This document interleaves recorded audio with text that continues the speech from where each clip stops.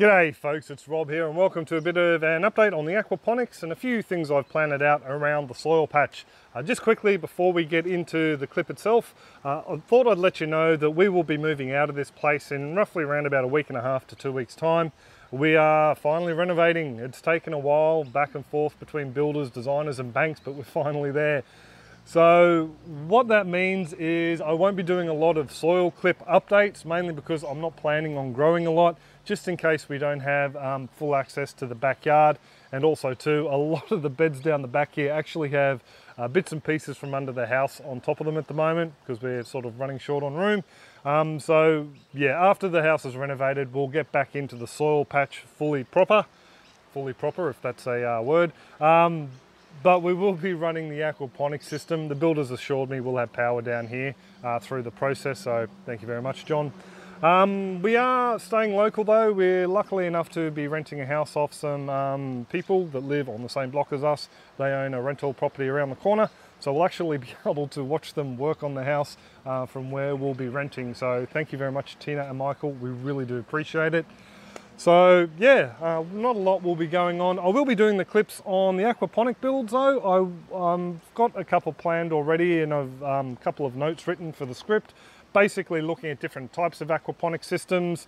Set out uh, like the last aquaponic clip I did, uh, a bit of a design outline for Pat if you want to check it out. There'll be a link up there um, and also different um, components that are used within an aquaponic system.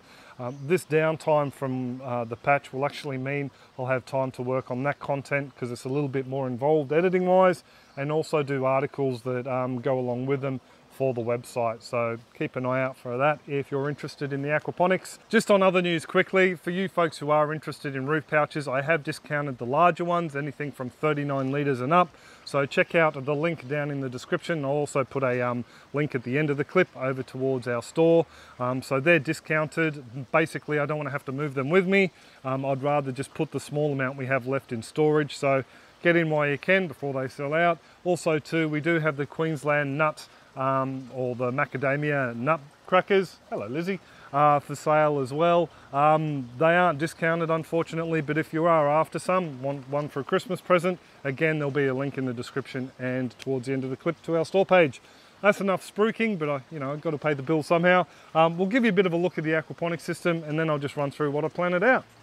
So before we get started, I'll say good day to Lizzie. She's desperately wanting me to play ball, so I'll give you one more toss. There you go, good girl. There's some of the mess we yet to clean out from underneath the house. It's all got to go in storage uh, later on today.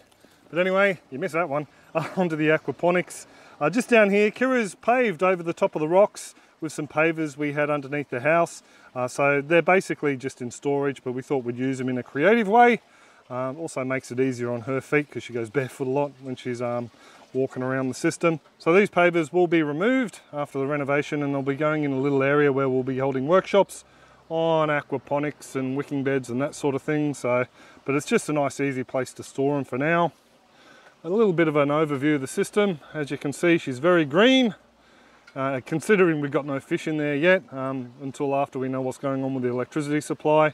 So I'm very chuffed with the way she's going. Uh, the mass of this green you can actually see is the Okinawan spinach. Uh, it's, it's basically taken over the bed and it started to flower. And they've got a very, very pretty little flower. Unfortunately, they're, they're a sterile flower. There's no seeds to be um, taken from them. Uh, this stuff grows fantastically from cutting. So what we normally do is we'll take a section like that up to the house, strip off all the lower leaves and only leave a small bunch like that at the top and then pop the stem in some water and they strike very very well and you can pop them into soil or aquaponics or hydroponics or whatever and they do really really well in our climate here. They're a plant that I do prefer to eat raw, not cooked and they got a um, carrot to lettucey sort of um, flavour to them. I gave a couple to some customers that have been over the last few weeks and they've taken them home to strike them in their system so yeah uh, one of my favourite greens to eat. Uh, we've got a few other bits and pieces in there. We've got the the poor old cardamom is um, getting smothered by the Okinawan spinach. We've got a rabbit ear lettuce over there that really does need to come out. Um, a tomato uh, that is basically just struck from a cutting. I'll tell you more about that in a minute. Uh, some chard over the back there. We've only taken a few leaves off of that recently. Uh, over in this bed here we have our Brahmi wall. Um, it's doing really well. This is something that we don't really eat a lot of. It's a medicinal plant generally. It's very bitter and we'd probably put, you know, two or three sections like that in a toss salad for the four of us, the family, uh, if Maya comes to visit. So we definitely don't eat this much, but it's really good at making a statement. and yeah, it's good at using up all the nutrient that's in the system at the moment. The beetroot are doing really well now that we've sorted out the pH and the nutrient issues. Come around this side to give you a better look. We've got some nice little bulbs down there, but we also do eat the young leaves in salads a lot.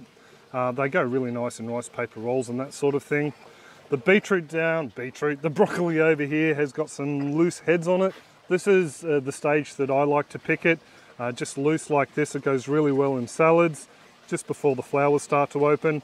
And indeed the flowers are um, edible as well and very nutritious. So those sections there need to come off. We harvested the ones off this broccoli over here the other day and hopefully we'll get some more florets uh, form on them soon. Um, yeah, the tomato that was growing out of the radial flow filter, I had to pull it out. It just kept blocking the drain between the radial flow filter and the moving bed bioreactor. She had a pretty extensive root system down in there and it ended up being one of those little red cherries, we're fairly sure, so not really a desirable plant. Uh, the other um, bits and pieces, like the one I showed you before just down there, they will be coming out of those grow beds because they do have fairly invasive root systems. Uh, just quickly onto the nutrient side of things, even though we've got no fish, we've got loads of nitrate in there. And I've also been supplementing the system with a fish emulsion and added in some um, seaweed powder as well, or powdered kelp. And that's basically providing the nutrients for all this growth. Um, I'm pretty impressed with the way it's going, so I think I'm on the right track.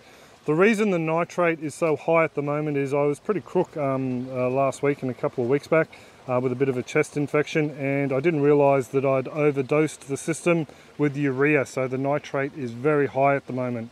Um, but yeah, with the amount of plant growth going on, I'd say it will be uh, falling fairly soon. So if all goes well and we can get back into the house before February next year, I might have enough time to um, rework a lot of this pipe work and the tanks and the filters so we can get some jade perch back in here. Uh, there's also a few things I'd like to do with these grow beds. They all need a bit of a clean out because there would be a load of solids in there. So um, yeah, it needs a real major rework, I think, before I pop some more fish in there. Now on to the soil bits. Uh, this large root pouch garden was growing a um, load of honeypod peas along the back. I had two broccoli in there to begin with. We've pulled one out. Um, we've only got one left here with a couple of little florets. It'll be ready to harvest in the next day or so. And we also have some uh, cress upland cress down the bottom there. That's a um, dead end crop. Uh, white cabbage butterflies lay their eggs on there. The caterpillars eat it and they die off. So um, that's in there, hopefully, well, fingers crossed, protecting the broccoli. I haven't seen much bug or caterpillar action on a lot of plants recently, so hopefully there's not a lot around. I fed up the bed the other day and planted out, I think it was five bits of ginger rhizome in here. So this will be another ginger bed again. I've already started working on a um, from planting to harvest clip on last year's crop that came from this garden bed. Unfortunately, my last um, video editing software crashed and I lost all the editing I'd done up to a point. So I've had to start again from scratch with the new system. Hopefully, uh, while we're out of the house, I'll be able to finish off that edit and show you that. Um, but yeah, I'm pretty um, confident that we're going to get another great crop of ginger out of here on just to let you in on a little bit of a secret. I've um, planted some mothers from last year's ginger around the front there already. So I always get asked how well mothers grow. Um, they're the original pieces of ginger you plant out and then harvest the fresh root from. So I've popped some in there as a bit of an experiment this season just to see how they all go. And I'm sure you'll see that in the upcoming months. Lizzie's down in there eating fallen mulberries, I think. Um, just quickly, the mulberries in there, we do have a load that we need to harvest. Don't know how well you can see through that cloth there, but there are a load of black ones on there. And, oh, there's one down there on a leaf. Look like it fell off overnight, so they need to be harvested. And we've been taking a couple of very nice bowls of the blueberries off the bushes as well. Unfortunately, the same birds that found out that the mulberries were tasty have also discovered our blueberries. So we're having to come through and harvest them fairly often now. And as a result, we're getting a few that aren't quite ripe. Got a, got a little bit of a tart kick to them, but that's all right. Uh, just down over here in this large root pouch, I decided to plant out another batch of the ginger. So what I did was um, feed up the bed using some soil from old root pouches we were no longer using, some compost and a couple of pellets as well, slow release organic pellets, and separated some of the Chinese red shallots back through the bed. Now I did have some warrigal greens growing in there, so no doubt we'll end up with um, red shallots, warrigal greens, and the ginger growing in this bed. So that's why I went a bit heavy on the compost feed. Um, hopefully they'll all do really well and we'll get a great crop of everything out of there. Uh, some of the other red shallots I just popped into a pouch down here as a big clump. We like to eat them as just a shallot green or green onion green. So yeah, pretty happy with the way that they've gone. And down here, the mint. Uh, this has been very tasty in the gin. As you can see, we're getting a few holes in it again. Uh, things are warming up, so we're getting a load of grasshoppers back in the patch. Don't know if you can make it out, but there's a very small little common grasshopper down in there. So these guys normally look really good at the start of the uh, warmer season through spring and then as soon as summer hits, even though they've got enough water and nutrition in the soil, the grasshoppers just absolutely thrash them here. I do know other folks um, like Marco on the north side from Self-Sufficient Me, his mint always looks awesome. Um, but yeah, for some reason, uh, the grasshoppers really hit ours through summer. Uh, just a few more blueberries in there and the other pouches are over the back there and some very pretty um, society garlic flowers. So as you can see, I've still got a lot to do here. Uh, it's just going to be hard trying to work in amongst the builders and whatnot. That's why we've pretty much all decided to um, can all the other plans until after the renovations are done. Uh, hopefully though, I might be able to make a little bit of a head start on the redesign of the aquaponics system. Just a quick reminder, if you are after a bit of a discount on the root pouches, the link is in the description and one will pop up at the end here. Uh, we also sell, uh, as well as the root pouches, uh, the Uniseals for aquaponics, venturis, and also the Queensland Nut Buster as well. So check them out if you're in the market for some aquaponic gear or a macadamia nutcracker. A quick thank you as well to you marvelous folks over on Patreon who are sticking by us, even though content is a little bit um, thin on the ground at the moment, as you can understand, we're being so busy. Um, thank you very much for continuing your support. I totally understand it if uh, you decide to have a break for a while while not a lot's coming out, but hopefully I'll keep those aquaponic clips coming. As always, you can find the links to the super contributors websites and Facebook groups down in the description below. It'd be fantastic if you could show them some love and say good day from me if you do end up uh, visiting their sites and pages. I will leave it there though. I do hope you've all enjoyed the clip and I will catch you next time. Cheers all. Have a top one.